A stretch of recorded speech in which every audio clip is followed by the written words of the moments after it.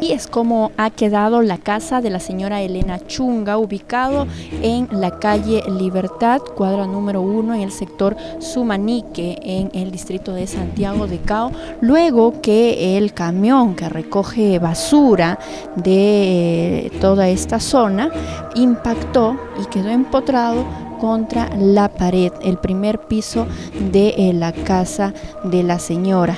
Eh, felizmente, según nos detallan algunos de los familiares, no hubo ninguna persona dentro de la vivienda cuando esto sucedió y eh, podemos descartar por lo menos heridos por parte de los familiares que viven en esta zona. Como podemos ver, la casa es solamente de un piso y el camión ha roto la ha roto el concreto, la pared y también se ha llevado parte de la ventana.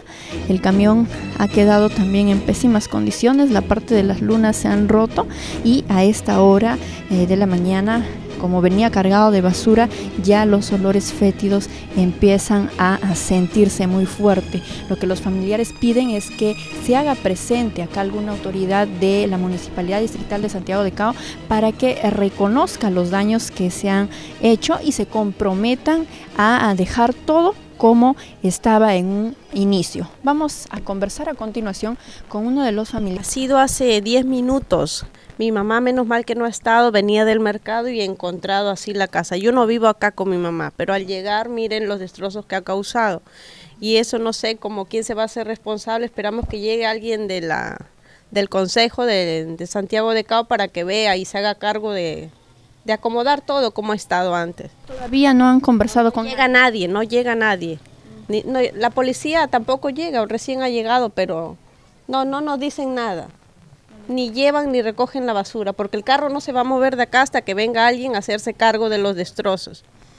¿Qué es eh, básicamente lo que ustedes están pidiendo, además de recoger la basura, que se reconozca todo lo que han roto? Han roto gran... Que queda igual, que quede igual. Ahí está la muestra de todos los daños y tiene que quedar igual conforme ha estado. Se supone que así no ha estado ni roto, tiene que quedar nuevo como ha estado.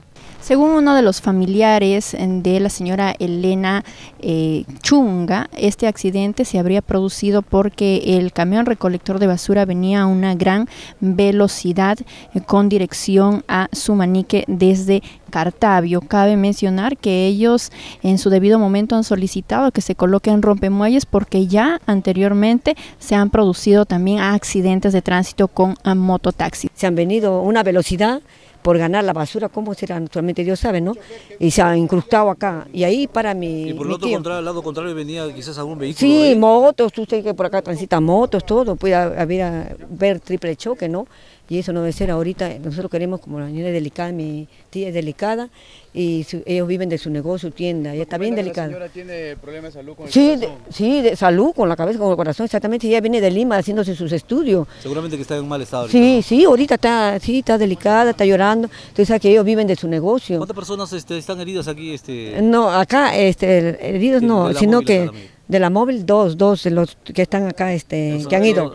sí, los han llevado a Chocope. Sí, claro, pues se han golpeado porque el impacto. Felizmente que salió el esposo de la señora porque él trabaja siempre ahí con su máquina. Su máquina, felizmente que no, no, no ha estado, felizmente que él no ha estado ahí en su máquina, si no hubiera pasado una desgracia. Ya se han hecho presentes diferentes funcionarios del municipio distrital de Santiago de Cao, quienes han dado la orden eh, de eh, transbordar lo que es la basura a otro vehículo y para que este sea ya trasladado y vaya a ser eh, conducido al botadero. De igual forma, se está viendo la manera de eh, sacar al vehículo que ha quedado empotrado en la pared de esta vivienda y, para ello se ha intentado prender el camión, sin embargo no funciona y se está, está a la espera de otro vehículo que pueda eh, sacarlo con apoyo de una soga. Cabe mencionar que el conductor que es eh, Carrasco, y su ayudante han sido trasladados al hospital de Chocope para que se les haga una revisión general. Ellos tienen contusiones leves, no es nada de gravedad, según lo que nos han informado eh, sus compañeros de trabajo del municipio y también los eh, bomberos, pero por em, temas de prevenir algún, algún mal mayor han sido llevados hasta el salud de Chocope.